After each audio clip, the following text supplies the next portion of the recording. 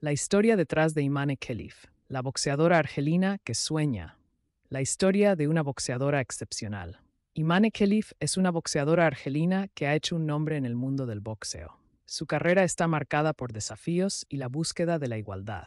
Khelif, que se identifica como intersexual, ha causado revuelo en los últimos años, especialmente debido a los debates sobre el hiperandrogenismo en el deporte. Khelif nació como niña y pronto se dio cuenta de que no encajaba en los roles de género tradicionales. Creció en un entorno que mostraba poco entendimiento sobre el tema de la intersexualidad. El boxeo se convirtió en un medio para afirmarse y aprovechar su potencial. Su compromiso en el ring no solo le trajo satisfacción personal, sino también una plataforma para hablar sobre importantes temas sociales. Sin embargo, la boxeadora argelina se enfrenta continuamente a desafíos. Ángela Carini, una especialista en ciencias del deporte, explica que los atletas que padecen hiperandrogenismo a menudo experimentan discriminación. Esto no solo está presente en los medios, sino también en forma de regulaciones deportivas oficiales.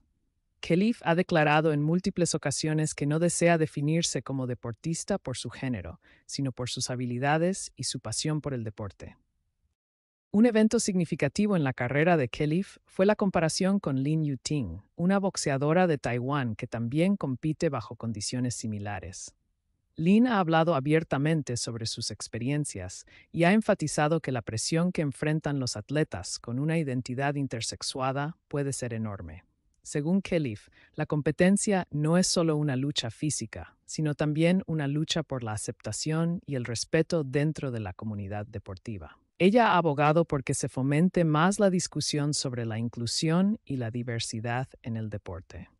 Se la considera a menudo como la voz de aquellos que están marginados socialmente. Las reacciones ante los éxitos y luchas de Khelif son mixtas. Muchos encuentran inspiración en su historia y en la forma en que se defiende contra los prejuicios.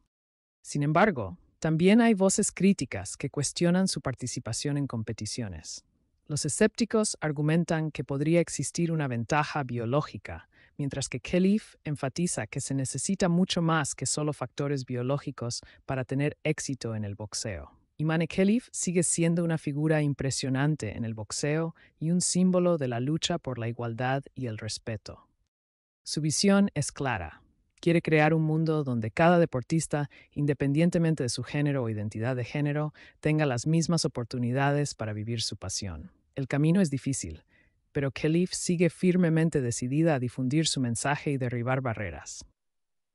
Viernes 2 de agosto de 24.